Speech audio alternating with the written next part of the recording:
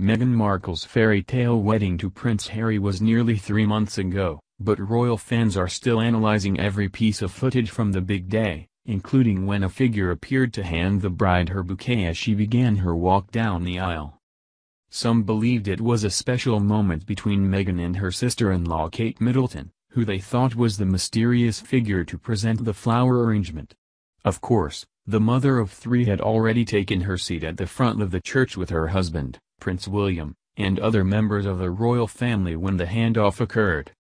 It was likely Samantha Cohen, Queen Elizabeth's former assistant private secretary, who was behind the quick exchange.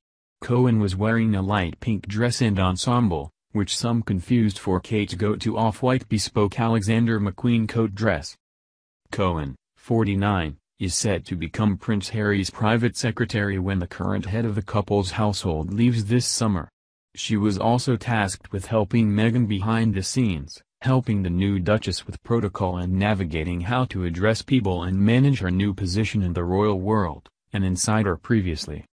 She will make sure Meghan is as happy as she can be without ruffling feathers, a source said of the Australian-born courtier, who is well liked by both William and Harry. She will represent her voice both internally and externally and fight her battles. Meghan's bouquet carried an extremely special meaning.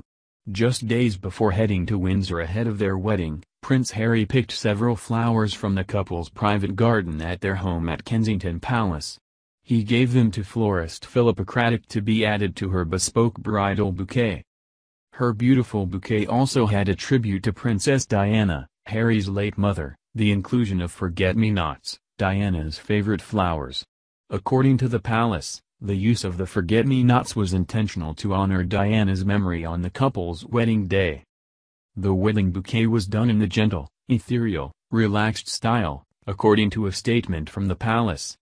A variety of flowers were included, scented sweet peas, lily of the valley, astilbe, jasmine and astrantia, and sprigs of myrtle all bound with a naturally dyed, raw silk ribbon. Silk ribbon.